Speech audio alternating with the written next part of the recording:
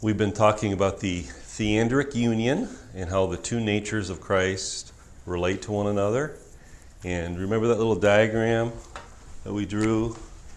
So this represents the person of Christ, and we have the divine and the human. And you have these two natures that relate to one another in an organic way.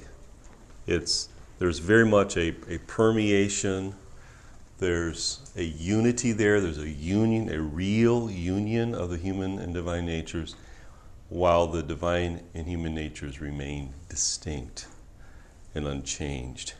Very, very important to accept that, affirm that. And so, one analogy could be let's see. You know, well, what we're not doing here is creating a third nature. That's going to be one of the heresies that we talk about. The natures are going to remain the same while, while in unity, while in union.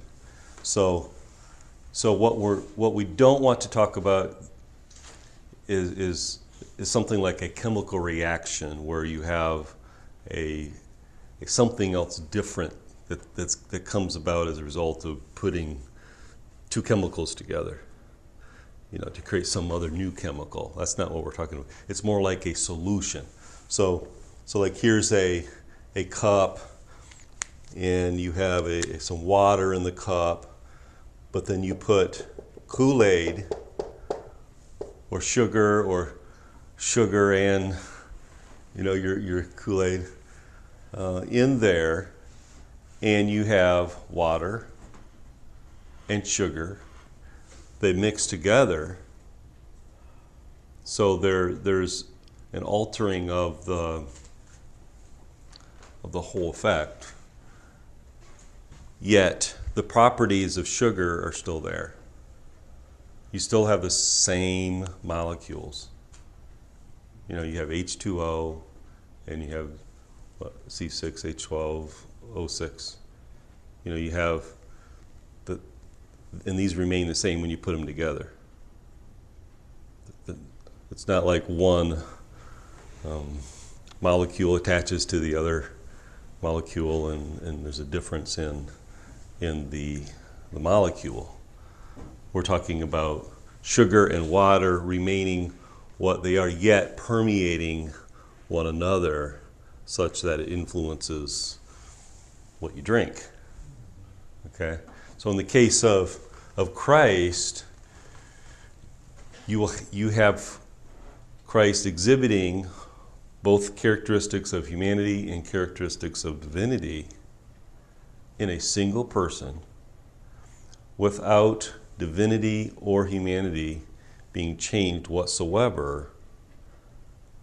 Okay, so you, you say, see a distinctiveness in the operations, yet you also understand that he's acting as one, and he is one person. So, again, what's the principle? One person, two natures that are wholly distinct and unchanged. And so, like what we said from the, the Chalcedonian Creed, you have one person, two natures, and these natures are unconfused, unchanged, indivisible, and inseparable. And these statements really had come out of the presence of the heresies who were making some erroneous claims, doing some things, you know, going to one extreme or another or whatever. And so I want us to talk about some of those things. Um, we'll call this section the rejected options. I believe that was Oden's term. So these are the heresies. It's a nice way to say heresies. they were rejected. Ebionism. Would when anybody have any idea what Ebionism is? This is a Jewish Christian cult or heresy.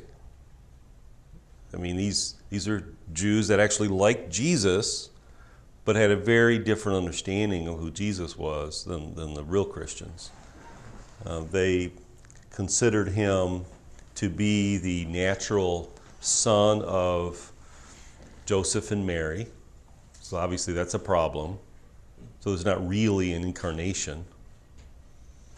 But that Jesus received the Spirit at the baptism. So he's not really God, right? So if you were to diagram that heresy and you had you know the same same basic diagram how would you somebody come up here and diagram help me diagram this. Nathan you're close. How would we alter this diagram to to show that this is the ebionite heresy? What are they denying? The deity. Yes so jesus is only a human that is spirit filled okay. Okay you got it. Very good. That was easy. They're good they're going to get a little harder. Okay. and then there's docetism. Anybody have any idea what docetism is? This is related to gnosticism which said that matter was evil. And so, it's like human nature. okay. So, so someone, come on up, James. I want you to diagram this one.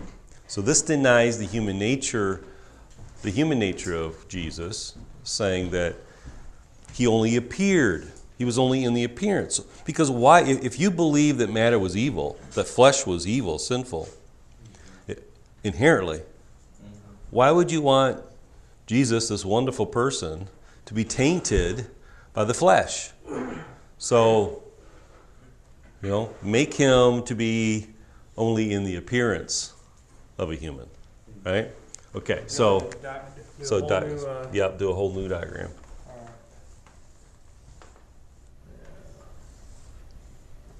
About the best circle I think I've ever done. Good job. so, you can see there Good. Yep. Didn't want to look exactly the same. No, no, no. Okay, so let's go ahead and.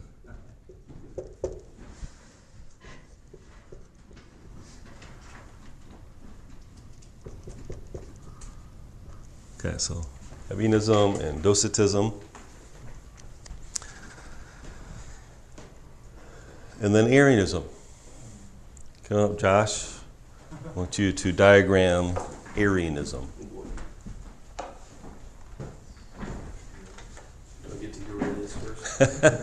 Anybody have any idea? He's going to draw it as we talk about it. I thought that's what docetism, or like that, it's basically the same as docetism, is it not? No. Both denying, like, not perfect human was divine, but A good man. Just a good man. Yeah. Yeah. The highest created being. Okay, the highest created being, yes. I think Jehovah's Witness. They're basically modern Arians. So, so I mean, really though, Arius did have a somewhat high view of Christ. I mean, not near high enough because he's still finite, and there's an infinite difference between finite and infinite. But in fact, he argued that Jesus was, the Son was of like substance, not the same substance with the Father, but of like substance. So it wasn't homoousios, it was like homo ousios or homoiousios. It was there was a little iota in there that he added, which made a huge difference. Right? So you go from homo ousios. You stick a little iota in there. That's like substance rather than same substance. Mm-hmm. Jesus, in Arius's mind, was a very high being, very close to God, you know. but he wasn't God. He refused to to affirm the deity, the full deity of Jesus. And so he becomes a man and all that, but mm-hmm. he does not come become a man as God Himself. Mm-hmm. So this is obviously a very serious heresy. Right. So how would we diagram that? So obviously his deity is rejected. Deity is rejected. So. So he's the first and highest created being, mhm. He's below the transcendental line. but he is below, right? So if you if you talk about this creator creature distinction, you know, he's still below that line, Right. Mm-hmm. which is huge, you know. She'd be like right there. Yeah, so denial of the deity. Now, now, you know, he wouldn't, Arius wouldn't have said that he was simply a human, but it is a denial of the divinity. mm-hmm. Yeah. So very, very serious error. Mm-hmm. Okay, thank you. So that's Arianism. Now we've got Nestorianism. Now this is going to be a little bit more difficult to diagram. And uh, Jason, you're next in line. So let's let's talk about this. this is a denial of the unity of the of the whoops i'm sorry let me start let me start let me fix that first yeah we're going to edit this part out yeah um, it's it's I, I could either say person unity of the person or unity of the natures Right. But one person. it's one person, two natures. You don't say unity of the persons. So let me say, let me say natures. So we're gonna cut that part out. Let me uh, get this right for the tape. Okay. And then there's Nestorianism, which denied the unity of the two natures. So you have a human nature and a divine nature, but there's only a moral union, not an organic union. So why would why would Nestorius have said no, there's not a complete full organic union between the human and the divine? Why would he go down that road? Why would he make these statements and contradict what others were saying? Anybody have any idea what his concern was? Some ways it was a valid concern. Was it, was he concerned that the deity of Jesus would be lowered through association, through close association with humanity? Well, his, his concern was that he didn't he didn't feel like the deity itself should be involved in the actual sufferings of Christ. So if there's an organic, real union, then you would have God suffering. How, how, could we tolerate that idea? How could that be, be biblical? You know, what, I mean, in his mind, you know, God suffering. You've heard of the patripassianism, the idea of the Father suffering. Well, you know, if I can understand how you you could say, no, the Father doesn't suffer in the person of Christ, but what about the Son? Surely the Son suffers by virtue of his union with the human nature. And what's wrong with that? I mean, isn't that the point? That he comes in, enters into the human race to identify with us, suffer with us, pay the price for our sins as the God man. And so, you know, I'm not going to say a Nestorian couldn't be saved or they're so heretical that there's no way that they, you know, if they understood things quite that way, you know, that, that there's no way that they could ever be saved. You know, there's there's a misunderstanding here, though, that is is problematic, uh, but it is a, I guess, a forgivable misunderstanding, as maybe a few of these others are. I don't know, but do you see the problem? This is a heresy Because we really do believe that God has identified fully with us and entered into our pain and took took our pain, took our you know, took it to the cross. Um, so, all right. So, Jason, come up here and see if you can diagram this. Figure out a way to diagram this.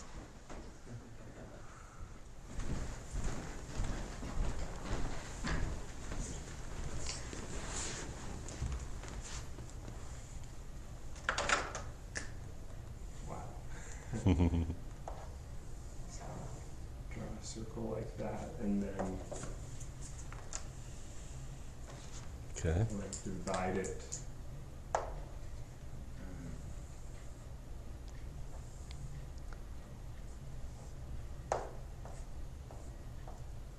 There you go. Like. Yeah. Yeah. Yeah. Very good. Yeah, that's that's the idea. Now you may have some some dotted lines here, whatever, you know, but there's no real organic union between the Father and the. I mean, I mean the uh, humanity and the deity. Okay. So very good. Now, what about Eutychianism? Anybody have any idea what that is? Eutychius, another heretic. What he was doing was combining the human and the divine natures in a way that created a third nature. So the human nature is swallowed up by the divine. So you have, you don't. So he's really neither fully human nor fully divine. Now, obviously, that's a problem. So, so this is it's mixed. So you're going to come up and try to draw that.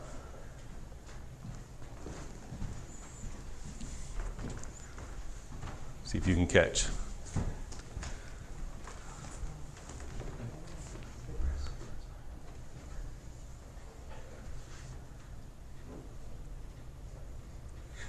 Okay, very good.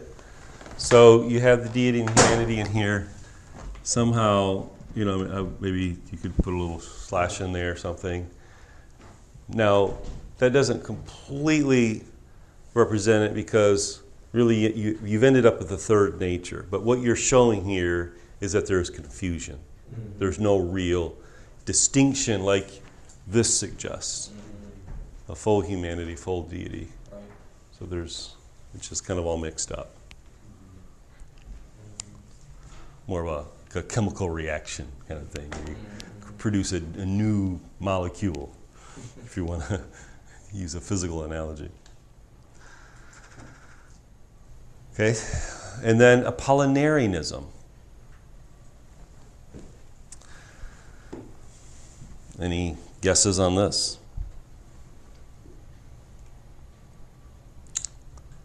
This denied the human spirit or the mind. The, the, the divine Logos took the place of the human spirit or the human mind. There's some aspect. So let's say we divide the humanity up into body, soul, spirit, or heart, mind, or, or whatever however you want to do it, some aspect of this is replaced by the Logos such that you actually have something less than human here. So, yes, fully divine, but instead of him having a human mind, he has a just simply the divine mind, the mind of the Logos, mm. So it'd be or something very similar to that. like a body operated by God, something like that. Now, you know, I, th- I think he would have allowed for some immaterial aspects of humanity to be to be present, but there's something that's that he's saying here that makes him less than fully human. So we can't do that. You know, so don't let the the mystery of it, the complexity of this, send you off toward a heresy. It's like, you know, you could ask the question, well, how could the divine mind and the human mind relate to one another? How could he have both? Well, I don't know. I don't know how he could have both in one person. But you just affirm it. Fully human, fully divine. Mm-hmm. And, and we'll talk more about that, how that could happen. But just protect yourself from these heresies by affirming, not saying anything that contradicts these basic affirmations of the church. And then monothelitism. Okay. Um, I have a little survey I ask at this point in the class. I want to see how many of you believe that Jesus has one will, and how many of you believe that Jesus has two wills? As in mind, will, emotions, will. The capacity to choose, the faculty of choosing. Okay, how many say one will? Raise your hand. How many say two wills? Okay. Five to one. I usually get more of a split. And that works for a little better debate. But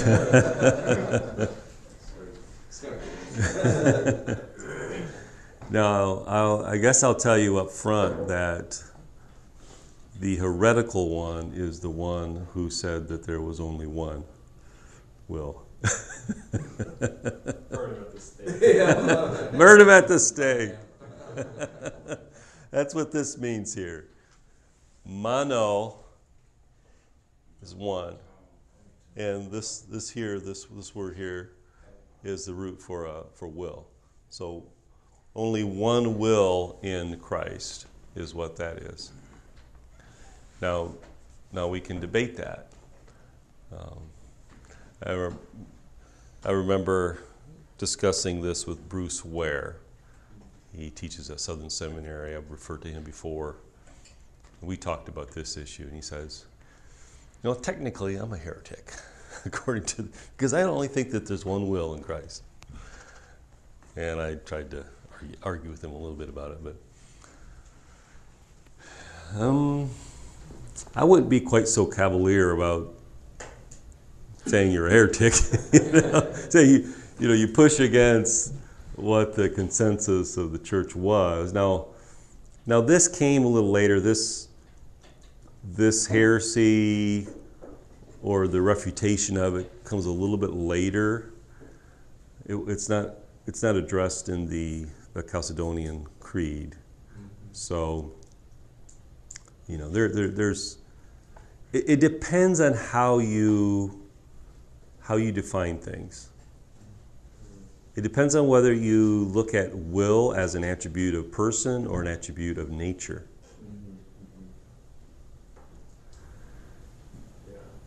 And, and you could be confused by that because,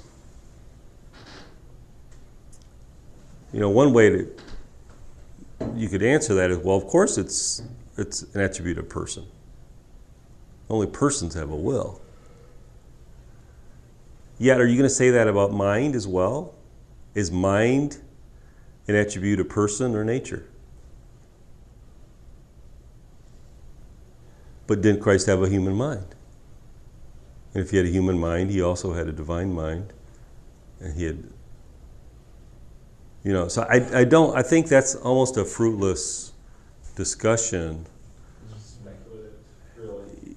Yeah. Not having had two natures ourselves to understand how they relate to one another. Yeah. Or how they contribute to one another. Yeah. Um,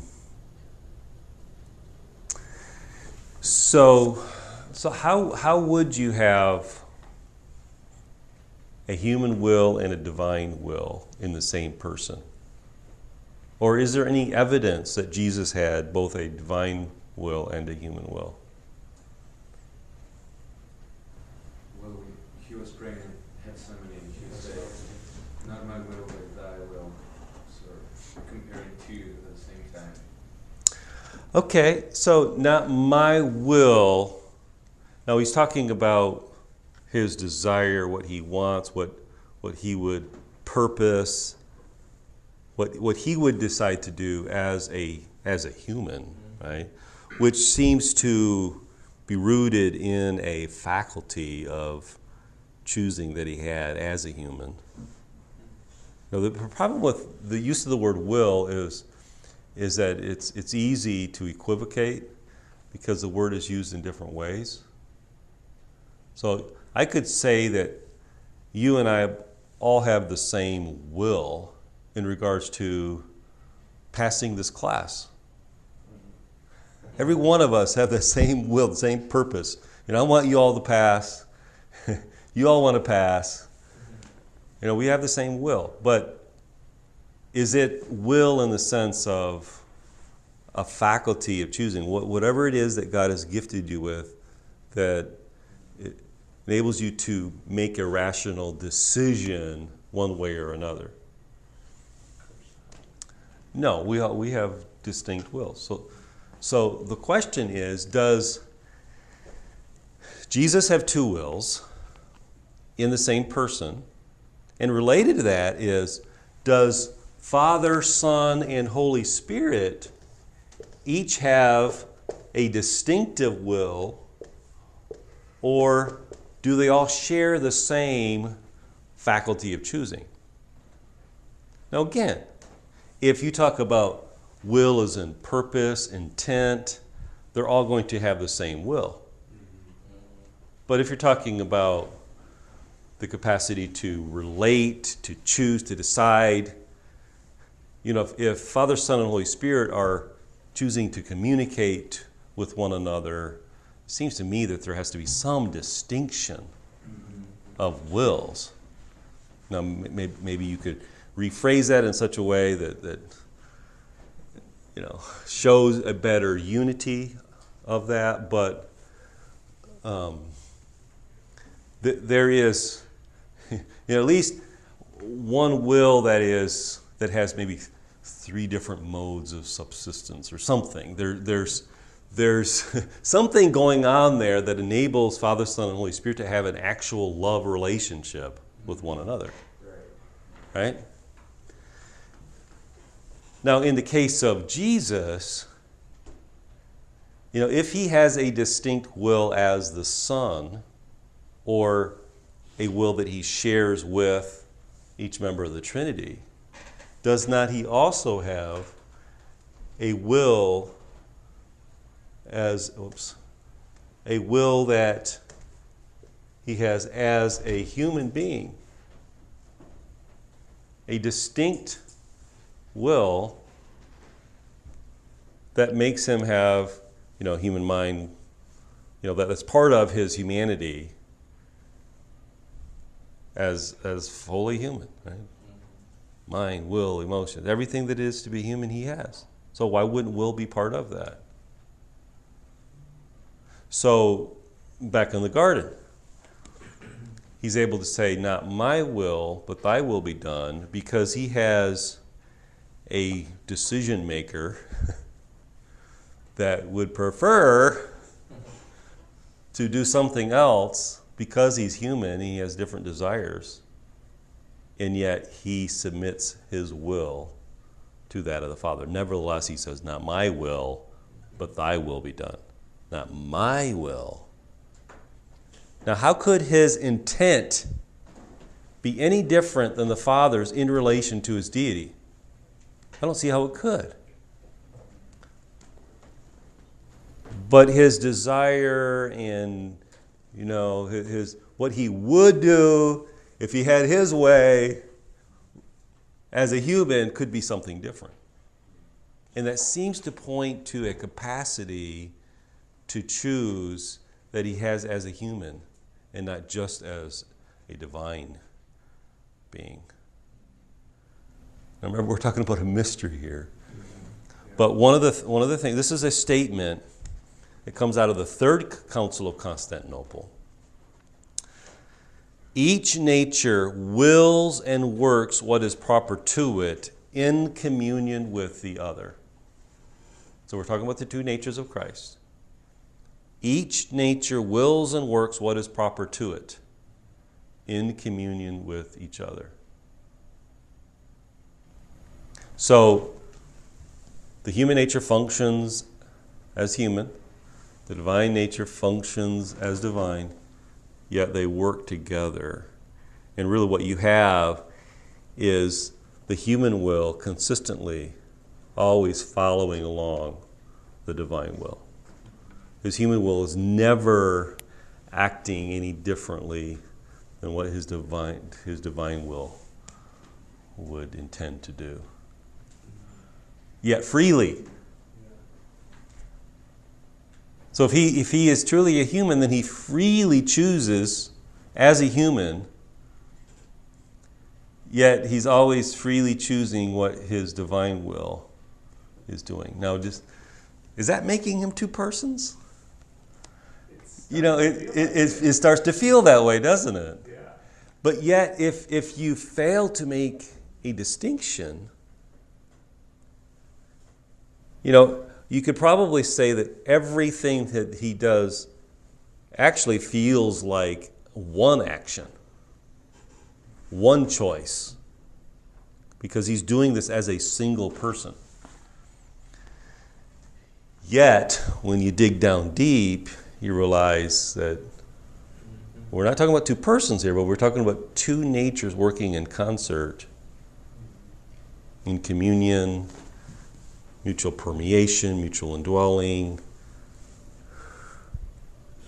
And so, you know, I think we just need to keep emphasizing one person, two natures, not Nestorianism. We're not going to go there. A real union. He's he's functionally one, yet up well, there are two operations, yet there's there's in a way one action.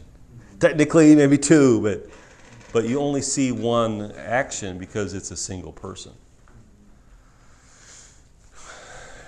It's it's it's it's a mystery. Yeah.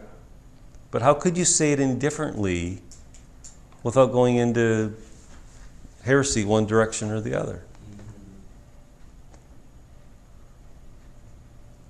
Not my will, but thy will be done. Nevertheless, not my will, but thy will be done. You know, he's, the, the son is begging the father to take the cup. Please don't let me have to go through this. Because he doesn't really want to as a human.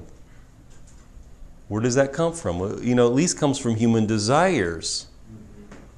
But then he says, Not my will, not what I want, not what I would choose if I had my way, but I want what you want, Father. Surely that comes out of his humanity. I think what makes it so hard is that he's a unique individual. Mhm. So I don't know anyone whose experiences or who has experienced conflict slash confluence of dual natures. So I don't have anything to compare it to. Right. Right. I, we probably always try to work from what we know, and in this case, we can't. Right. Do you think that if you, so like Nes- Nestorianism, if you deny the unity of the natures, um, say that they're two persons, couldn't that start a pretty direct path to being able to say, I deny the Trinity? How's that? Well, just because if you're denying that Jesus could be one person, two natures, then why couldn't you say God can't be one person, three natures? Okay. I mean, maybe not. I just it just popped into my head that if like if Yeah. you're gonna argue that Jesus couldn't be, Mm-hmm. then that could start a direction towards. I mean, Mhm. why couldn't someone say, okay, well, why if you don't believe that, Mhm. well, why don't you believe that? Yeah. Well, in either case, we're not talking about an actual contradiction. hmm You know, it's possible for God to be one in nature and three in person. Exactly. It's possible for the Son, for Jesus to be two in nature in a single person. We just don't know how either one of those things really work. Right. Yeah. I mean, we're talking about God here. Right, exactly. And He hasn't chosen to explain everything to us. Mhm. But there are certain things that we know. I mean, we know that, that Jesus, as a human, developed from a little baby, Mhm. from even a little zygote, and he developed, he grew in wisdom and knowledge and stature with God and man. Mhm. So there's normal human development there. Right. Mhm. Yet at the same time, he's fully God. Right. So I mean, we know these things, Mhm. and we know that he's a single person. And so we just, if we want to try to explain it to someone else, we just have to affirm what we know, and then any statement that we make in our attempt to clarify or explain, we just need to make sure we're not contradicting what we had previously said. That's why I think maybe it is important that we affirm the fact that Jesus is one person Yes, and two natures. yes, absolutely. Mhm. Yeah. All right. Well, we'll stop there. And